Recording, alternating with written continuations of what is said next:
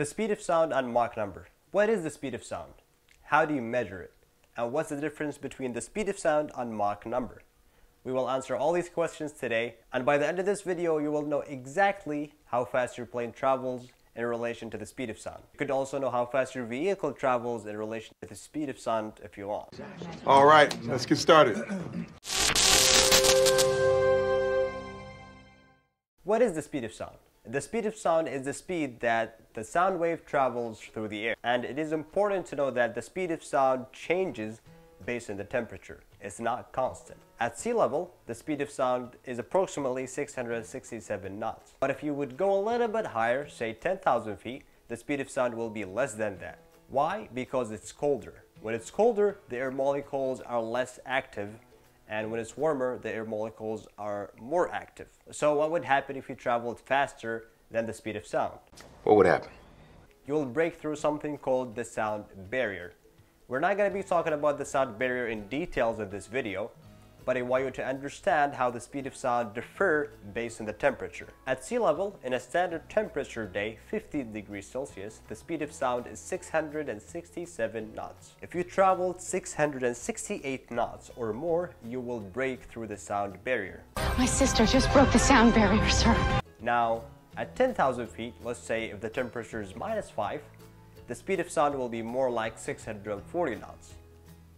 So if you travel at 641 knots or more, you will break through the sound barrier. Warm air, higher speed of sound. Cold air, lower speed of sound.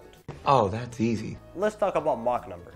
What is Mach number? And what's the relation between Mach number and the speed of sound? Name and relation? Mach number is the ratio of your speed to the speed of sound. So to calculate Mach number, you need to divide your speed by the speed of sound at your altitude. Give me an example. Okay, let's take an example. If you were flying at 5,000 feet and your speed is 300 knots, the speed of sound at that altitude is 600 knots. And you want to calculate your Mach number, you need to divide your speed, which is 300 knots, by the speed of sound, which is 600 knots.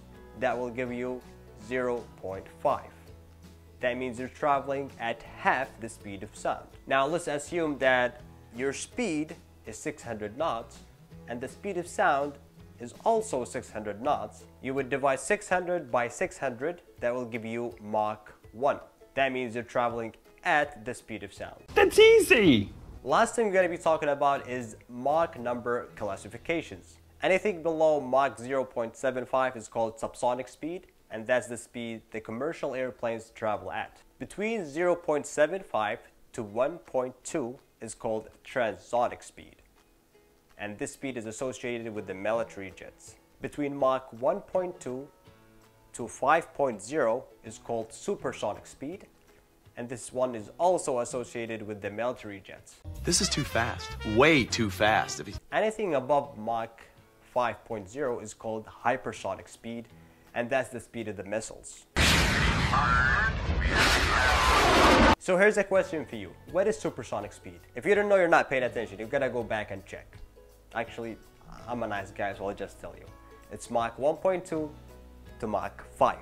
That's it. We have reached the end of the video. I hope you learned something new today. Remember that supersonic speed? I want you to use it and hit that like button. Subscribe to reach more content about aviation. Share the video for your family and friends. And if you have any questions, any suggestions, down below in the comments. And see you next time.